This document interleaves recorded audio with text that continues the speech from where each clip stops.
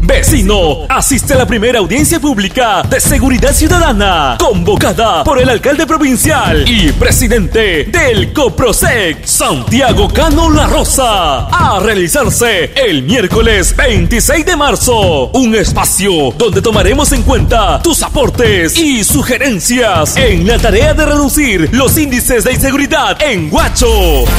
Te esperamos a partir de las 10 de la mañana en el auditorio del Palacio Municipal. Sito en calle Colón 150.